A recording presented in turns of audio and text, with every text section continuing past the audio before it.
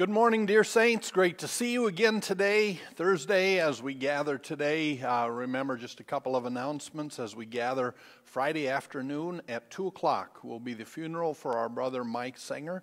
That will be right here in the sanctuary with lunch, lunch afterwards.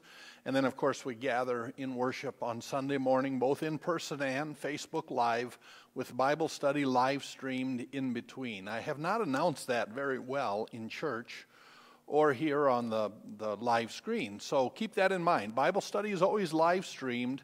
We usually start at 9:30 and are done at 10:15 and that gives us time to be ready for the second service. Our word today, God's word for us in the service of morning for daily prayer in the name of the Father and the Son and the Holy Spirit. Amen. In the morning, O Lord, you hear my voice.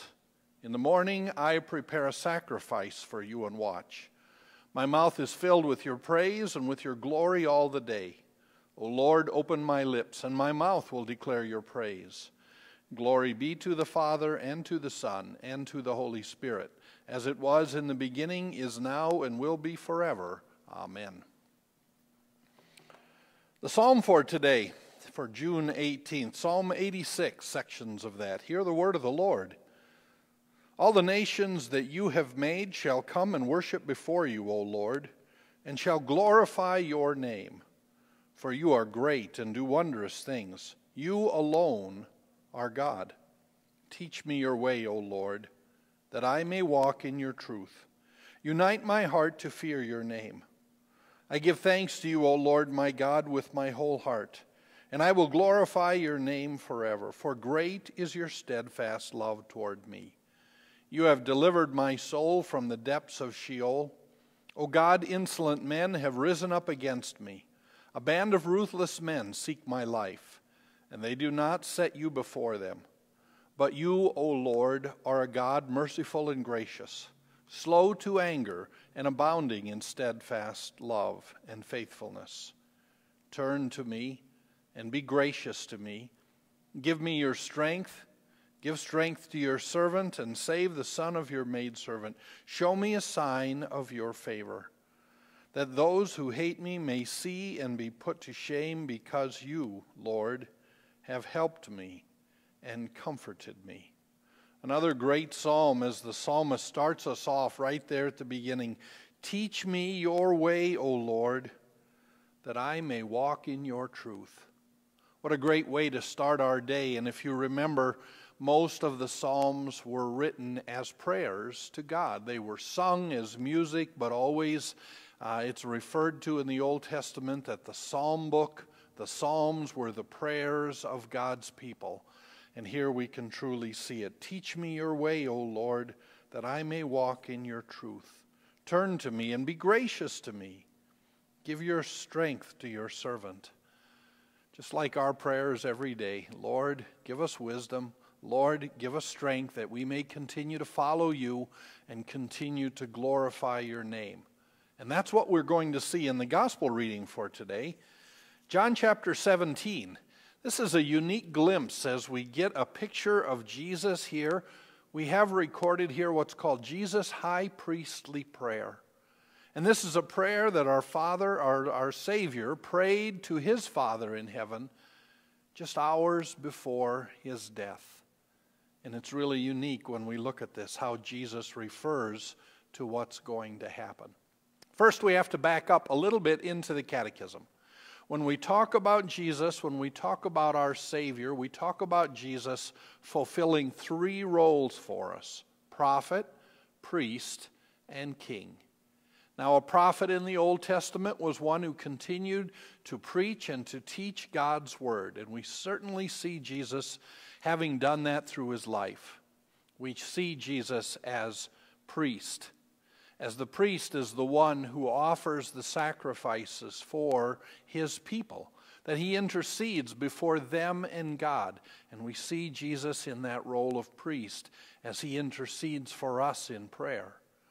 But we also see him as king and as Jesus is king, we are going to see Jesus coronated soon in the Gospel of John. Today is kind of like the assembly before that, but it's not a coronation and a kingdom that we would see like we would see if we get a new president.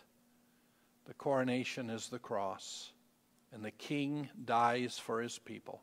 The priest is both the one who offers the sacrifice and who is the sacrifice, and that's Jesus, the one who prays for us. John 17, the first 26 verses, Jesus' high priestly prayer. When Jesus had spoken these words, he lifted up his eyes to heaven and said, Father, the hour has come. Glorify your Son, that your Son may glorify you. Since you have given him authority over all flesh, to give eternal life to all who you have given him. And this is eternal life, that they know you, the only true God, and Jesus Christ, whom you have sent. I glorified you on earth having accomplished the work that you gave me to do. And now, Father, glorify me in your own presence with the glory that I had with you before the world existed. I have manifested your name to the people whom you have given me out of the world. Yours they were, and you gave them to me, and they have kept your word. Now they know that everything that you have given me is from you. For I have given them your words that you have given that you gave me, and they have received them, and have come to know in truth that I came from you, and they have believed that you sent me. I am praying for them. I am not praying for the world, but for those whom you have given me, for they are yours. All mine are yours, and yours are mine, and I am glorified in them. And I am no longer in this world but they are in the world, and I am coming to you. Holy Father, keep them in your name, which you have given me, that they may be one even as we are one. While I was with them, I kept them in your name, which you have given me. I have guarded them, and not one of them has been lost, except the son of destruction, that the scripture might be fulfilled. But now I am coming to you. And these things I speak in the world, that they may have my joy fulfilled in themselves. I have given them your word, and the world has hated them because they are not of the world, just as I am not of the world. I do not ask that you take them out of the world, but that you keep them from the evil one. They are not of the world, just as I am not of the world. Sanctify them in the truth. Your word is truth. As you sent me into the world, so I have sent them into the world, and for their sake I consecrate myself, that they also may be sanctified in truth. I do not ask for these only, but also for those who will believe in me through their word, that they may be one, just as you, Father, are in me and I in you that they also may be in us, so that the world may believe that you have sent me. The glory that you have given me, I have given to them, that they may be one even as we are one, I in them and you in me, that they may become perfectly one, so that the world may know that you sent me and love them even as you have loved me. Father, I desire that they also, whom you have given me, may be with me where I am, to see my glory that you have given me because you loved me before the foundation of the world. O righteous Father, even though the world does not know you, I know you, and these know that you have sent me. I made known to them your name, and I will continue to make it known that the love which you have loved that the love which you have loved me may be in them and I in them. The Gospel of St. John, the 17th chapter. Well, as you hear Jesus there as he is praying, you can see right away at the beginning, Jesus says, Father, the hour has come, glorify your Son, that the Son may glorify you. And when we think about God glorifying His Son, we might think of something great like Palm Sunday when Jesus went into Jerusalem and the Son glorifying the Father, uh, some great speech that Jesus might make pointing us to God His Father and in, in heaven. But what these verses are pointing to Father, the hour has come. Glorify your Son, which means the cross.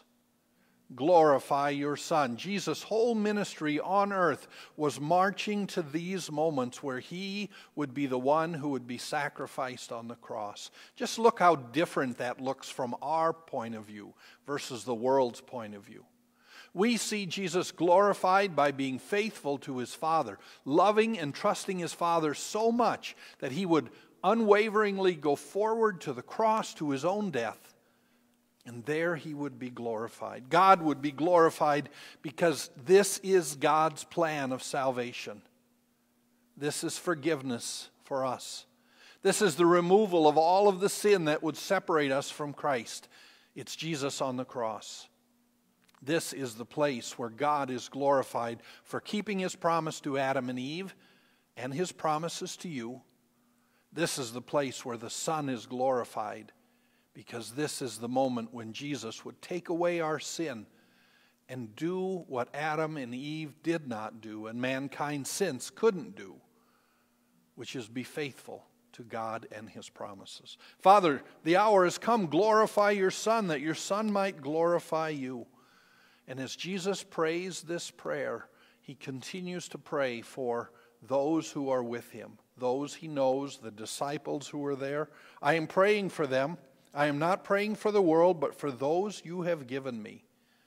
All of those that are confessing Jesus, even Nicodemus, who we found in chapter 3. Nicodemus would come to Jesus at night, being a Pharisee himself, and Jesus, by talking to him, would have cleared up his false understanding, and Nicodemus would be a follower of Jesus. Nicodemus would be one at the cross who would help take Jesus' body down. Jesus praying for all of those who would come to the knowledge of Him as Savior. The Samaritan woman, all of those who would naturally be outside the law of, of um, the Jewish law, all of those who would believe in Jesus would now become the ones that Jesus is praying for.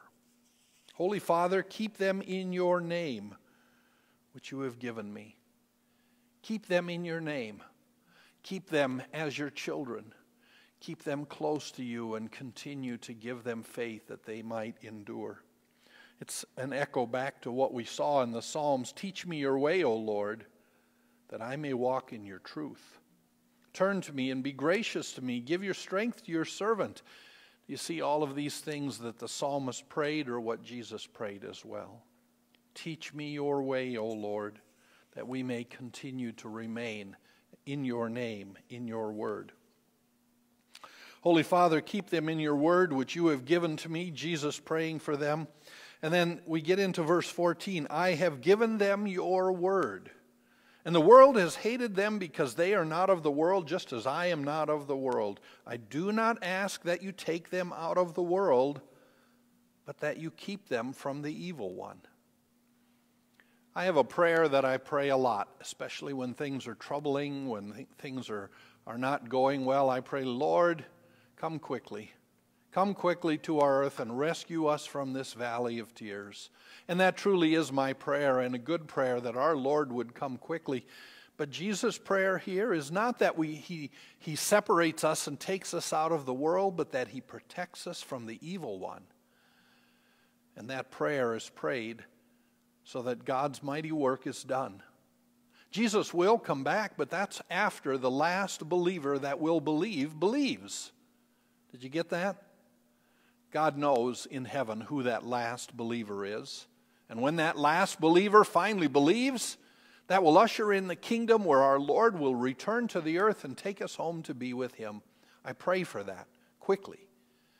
But our Lord also prays that during that time when we struggle here in the world, that we be protected from the evil one that, the, that God in heaven would continue to use His Holy Spirit, His Word preached, the sacraments given to us to protect us from the evil one. And he goes on to spin that out. He says, They are not of the world, those whom He's prayed for, just as I am not of the world. Sanctify them in the truth. Your word is truth. You see, we live in a time right now where everybody believes they have their truth. And they don't like this church because it doesn't believe that, and they don't like that church because it doesn't believe that, and they develop their own system of understanding God, and it's not based in the truth. Well, Jesus is clear. Your word is truth. It's the same thing we hear in Timothy. All scripture is breathed out by God. So we want to know how to live and how to act. Well, we turn to his word. As you sent me into the world, Jesus says, I have sent them into the world, and for their sake I consecrate myself, that they also may be sanctified in truth. And as I read the, the, the high priestly prayer, these lines right here I find great comfort in that Jesus, hours before his death, hours before he would be glorified to his Father in heaven, says this I do not ask for these only, but also for those who will believe in me through their word. Jesus is praying for you, dear saint, that you who have heard this word of Jesus, this word of truth preached into our world, that you who have heard this word and God has given you faith to believe would be protected from the evil one. What a great prayer. Do you see the great love of our Savior? Not only going to the cross, but our, prayer, our Savior praying for you that you might be protected from the evil one. He prayed this to our Father in heaven for us so that we may continue to remain faithful to this truth that we might endure in a world that hates us, and that we may continue to glorify God our Father and love our neighbor just as He's given us these commands to do. What a great gift to see this prayer that Jesus has given to us. Dear saints, remember, your Savior prayed for you that you would continue to be protected from the evil one. In Jesus' name, amen. Well, our catechetical review, looking at this great prayer that our Lord has prayed, will draw us back to the beginning of the Lord's Prayer, the introduction. Our Father who art in heaven. What does this mean? With these words, God tenderly invites us to believe that He is our true Father and that we are His true children, so that with all boldness and confidence we may ask Him as dear children ask their dear Father. Just as Jesus prayed for us, dear saints, so we have the confidence, the joy, like we heard right there at the beginning of the psalm, to go to our Father. Teach me your way, O Lord, that I may walk in your truth. We pray.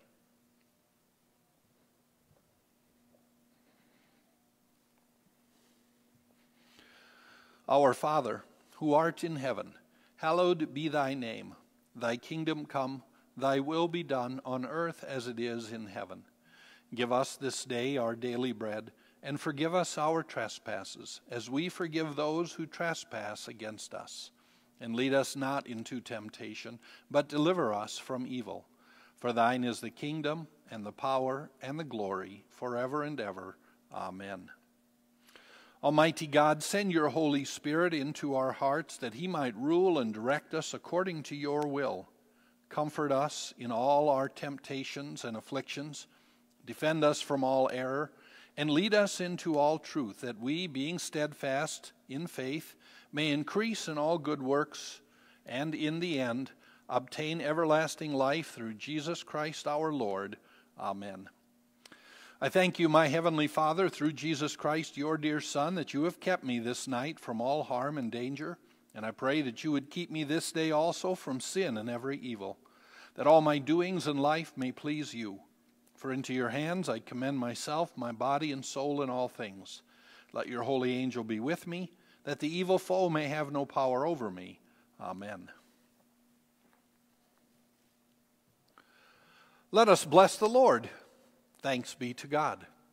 Well, dear saints, remember tonight at Divine Shepherd at 6:30 we are offering Faith Builders, a Bible study for everyone, but especially for those who are new to Divine Shepherd or new to the Christian faith.